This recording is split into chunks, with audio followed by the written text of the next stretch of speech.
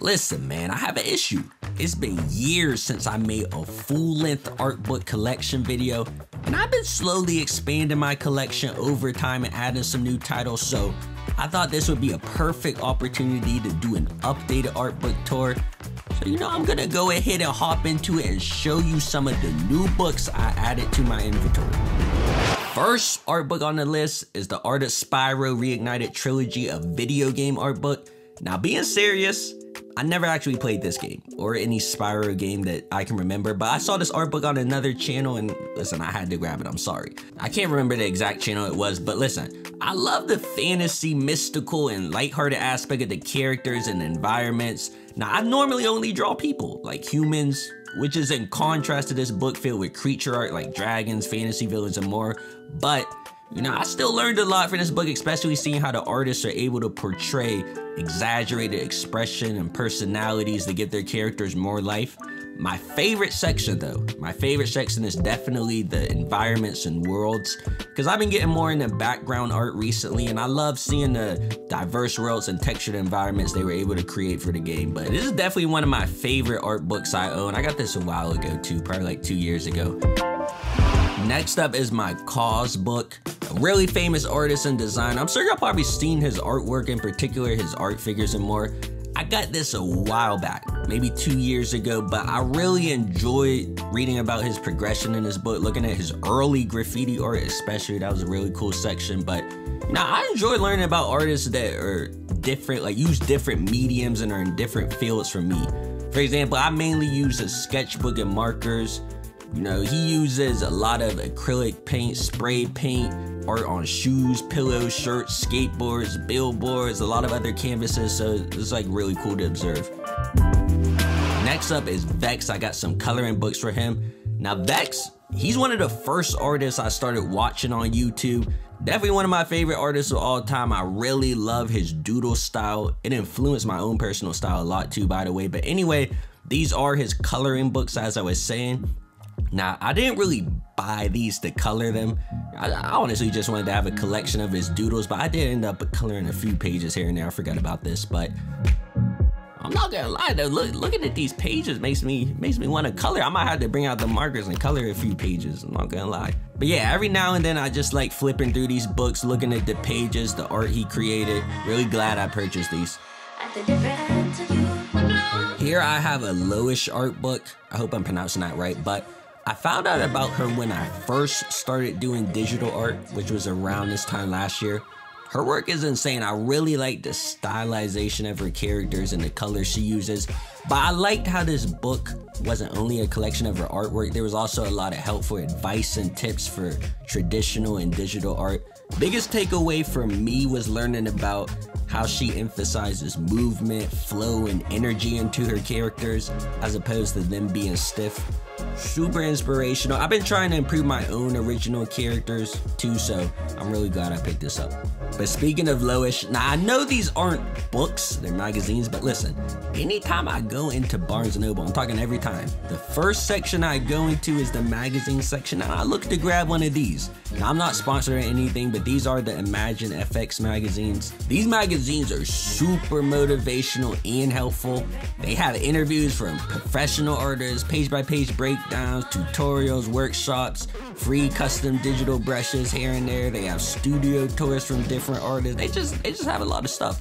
Now these were another thing I found out about when I first started getting into digital art. You can see by the title of some of these issues, but man, I love reading through these magazines and seeing, learning about all the different types of artists and their backgrounds. Good stuff in this, but moving on, so here I have Something's Off, the Virgil art book, rest in peace. But super, super influential fashion designer, artist. He, he kind of did everything. But I got this a while back, probably 2021, I want to say. I showed this a couple times on my channel, so I won't go into a deep dive, but you know, you can see a peek into a bit of his design process when it came to his collaborations with Nike and Off-White. You can see his descriptive quotation text he uses. Really well put together book. He has another art book. I was checking, I saw it. I might, I might have to pick that up in the future sometime. Probably gonna have to get it, but let's move on to the next one. Next, I have Hebru Brantley's art book. really insane artist and designer from Chicago. Listen, I kept seeing his art, particularly his art toys every now and then on social media, but I never knew who the artist was that made them until I seen an interview with Hebru Brantley along with his art in it, so I, you know, I kind of connected the dots. But I had to get this art book. Now, I'll be honest, I haven't opened this up too much because I've been trying to work my way through some other books I got prior to this before I like really get into this. But from what I did see, I really enjoyed reading about his original characters and the stories he had behind their creation and the meaning of them. But I'm gonna definitely have to get more into this art book for sure. Maybe even down the line visit a museum to see some of his work too. So this is probably the oldest book I have in this video. I got uh, this maybe like nine or 10 years ago, I wanna say, but this is how to draw the Marvel way. Now, if you've been on this channel, I don't normally draw superheroes, but recently I've been trying to incorporate the Marvel comic style into some of the different art style videos that I do. So I had to dust this book off. I had to bring it back. I'm also drawing Miles Morales for the next video I'm doing. So, you know, I had to uh, take this book out again and read up on it. I meant to show this book in the old art book collection video I made a couple years ago, but you know, I must have just forgot. So I had to give it some camera time for this new video. Really glad that I picked this book up years ago. But continuing with the Marvel theme, so I know I showed this Spider-Man book in my previous art books video, but hear me out.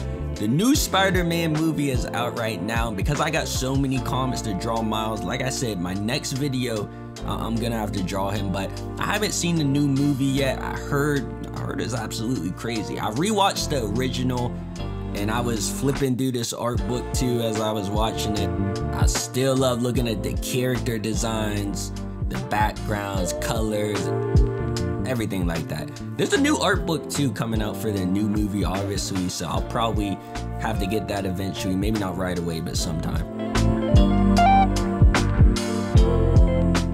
Another video game art book. This literally just came in a couple days ago, but this is art for The Legend of Zelda Breath of the Wild. Now listen, I did get the new game Tears of the Kingdom and I was mad. I was so mad because if you would have pre-ordered it, you would have gotten the art book along with the game. And I didn't know that. I didn't know that. I should have pre-ordered it, but I just ended up getting the art book for the older game, Breath of the Wild. I love the art style in this game.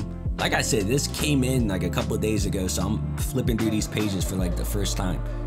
Now, I've seen this book before, like years ago, but I always just assumed it was a video game guide. I didn't even realize it was an actual art book. I would have got it sooner if I knew that. But I'm gonna definitely keep working my way through Tears of the Kingdom. I haven't got a chance to play it too much, but from like what I did play, it is like absolutely insane. I may try to make some art for it too, like in a video or something if you guys would want to see that. But thank you guys for watching this video. Different type of video, just wanted to change things up for a second. New drawing videos are on the way, so please subscribe if you haven't already. And I'm out.